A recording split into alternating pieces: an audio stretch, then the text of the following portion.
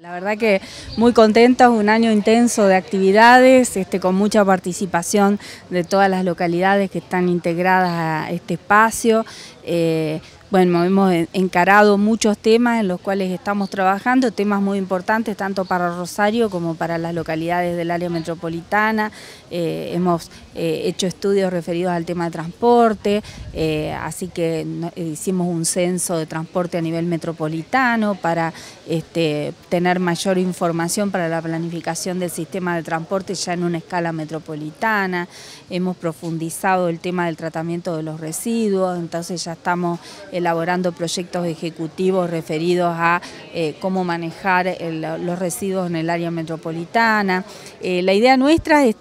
eh, seguir trabajando en estos tres ejes fundamentales que son movilidad y accesibilidad,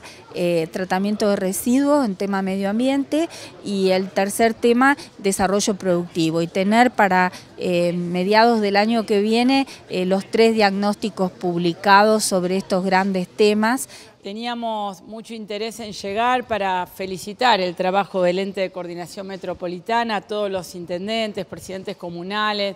a todos los que nos han acompañado, a todos los sectores que han apostado esta nueva institucionalidad que es el ente de coordinación metropolitana, que a poco de andar ya tiene pruebas que puede encarar proyectos interesantes, no solo lo que estamos haciendo con el esfuerzo de todos, sino también proyectos de financiamiento metropolitano. Y creo que esta oportunidad que se nos presenta con el DAMI demuestra que si nos fortalecemos como área metropolitana tenemos posibilidades de seguir avanzando con proyectos que mejoren la calidad de vida de todos nuestros ciudadanos. Y por supuesto desearles y desearnos que sea un buen año para la región. Para nosotros es muy importante que haya actividades productivas, que haya proyectos de infraestructura y para eso la verdad que este ente, con diversidad de partidos políticos, con diversidad de mirada, ha demostrado que aquellas cosas que nos importan para los ciudadanos nos unen en una mesa de trabajo. Ana, felicitaciones